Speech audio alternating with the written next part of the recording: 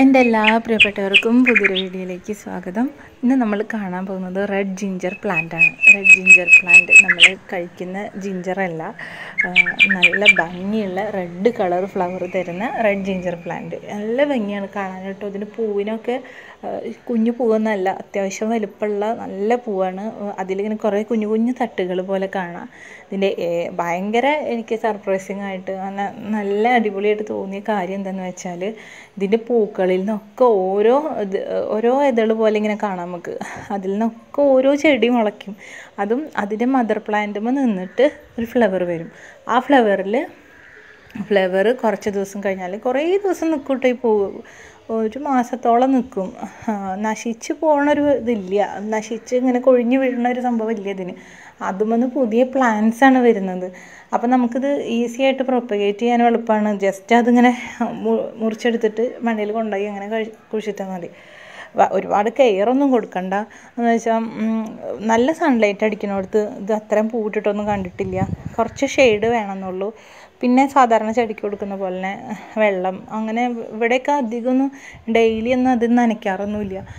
ഇനി പക്ഷെ ഒരു കാട് പോലെ പിടിച്ചിട്ടാണ് ഇത് വളരുക. അതുകൊണ്ട് ഇതിന് അത്യാവശ്യം സ്പേസ് വേണം.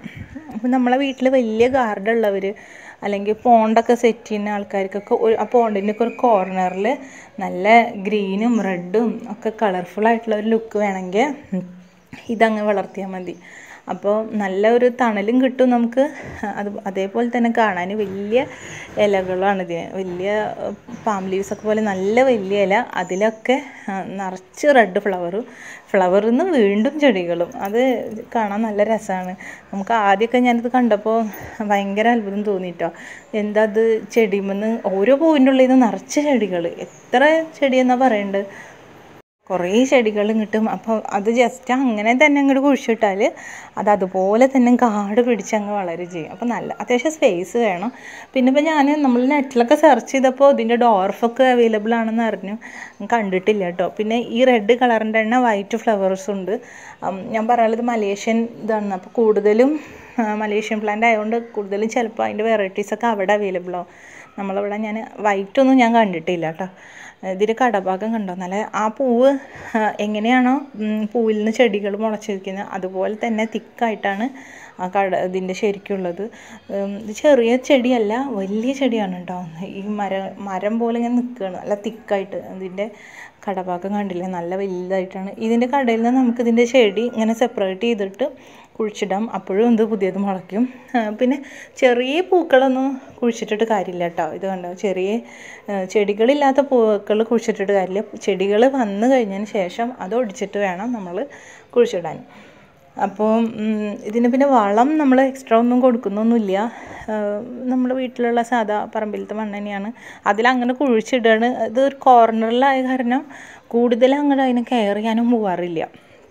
നമ്മൾ വീട്ടിൽ തന്നെ കുഞ്ഞു ചെടിച്ചട്ടിയിലെന്നല്ല ഒരു കോർണറിൽ അങ്ങനെ വെച്ചിരിക്കുക അത് തന്നെ ഭയങ്കര കെയറിനൊന്നും അത് പോകാറില്ല തനിയെ വളരും. ഒരു ഇതാകുമ്പോൾ നിറച്ച് പൂവിടും. പൂവിട്ട് കഴിഞ്ഞാൽ ഇപ്പം ശരിക്കും പൂ കുറവാണ് കേട്ടോ അല്ലെങ്കിൽ നല്ല ഫുൾ ഡാർക്ക് ഗ്രീനിൽ നല്ല ബ്രൈറ്റ് റെഡ് വലിയ പൂക്കളായിട്ട് നിറച്ച് കാണാം. ഇതൊരു ഓർണമെന്റൽ പ്ലാന്റ് ആണ് അപ്പോൾ നമ്മൾ വീട്ടിൽ ഈ ഫ്ലവർ വേസൊക്കെ സെറ്റ് ചെയ്യുക അല്ലെങ്കിൽ നമ്മുടെ എന്തെങ്കിലും ഫങ്ഷനോ അങ്ങനെ അറേഞ്ച്മെന്റ് ഫ്ലവർ അറേഞ്ച്മെന്റ്സിനൊക്കെ പൂ യൂസ് ചെയ്യാറുണ്ട്. ജസ്റ്റ് പൂ മാത്രം എടുത്ത് വെള്ളത്തിട്ട് വെച്ചാൽ കുറേ നാൾ ഒന്നും പ്രശ്നമൊന്നും ഉണ്ടാവില്ല. അങ്ങനെ അങ്ങ് നശിച്ചു പോവില്ല. ഒരുപാട് ദിവസം ഇപ്പോൾ ടേബിളിന്റെ മേലേക്കാണ് വെച്ചാൽ ഞങ്ങൾ ആദ്യം അങ്ങനെ ചെയ്യാറുണ്ടായിരുന്നു. ഒരു ചെറിയ ഇതിൽ വെള്ളത്തിൽ ഒരു ഒന്ന് കൊടുന്ന് വെച്ചാൽ കുറേ നാളിരിക്കും. നല്ല കളർഫുള്ളായിട്ട് നല്ല ഭംഗിയാണ് കാണാൻ പ്ലാസ്റ്റിക് പോലെയാണ് ഇതിന്റെ ഫ്ലവേഴ്സിന്റെയും ടെക്സ്ചർ അപ്പോൾ നമുക്കിങ്ങനെ പിടിച്ച് വലിച്ചാൽ അല്ലെങ്കിൽ പെട്ടെന്ന് അതങ്ങനെ പറഞ്ഞു പോരുക പൊട്ടി പോകുന്നില്ല. അപ്പോൾ നല്ല ഭംഗിയുള്ള ഒരു ചെടിയാണ്. കുറച്ച് സ്പേസ് ഉള്ളവർ ഗാർഡൻ വലിയൊരു ഗാർഡൻ ഉള്ളവർ അല്ലെങ്കിൽ ചെടിച്ചട്ടിയിൽ നമ്മളിവിടെ വളർത്തി നോക്കിയിട്ടില്ല. വേണമെന്ന് വെച്ചാൽ നമുക്ക് ട്രൈ ചെയ്ത് നോക്കുകയൊക്കെ ചെയ്യാം അല്ലേ? കുറച്ച് വലിയ ട്രൈ ചെടിച്ചട്ടി ഇട്ടെങ്കിൽ അപ്പോൾ ഉള്ളവർക്ക് ആഗ്രഹമുള്ളവർക്ക് ഇത് കളക്ട് ചെയ്ത് ഗാർഡനിൽ വളർത്താവുന്നതാണ്.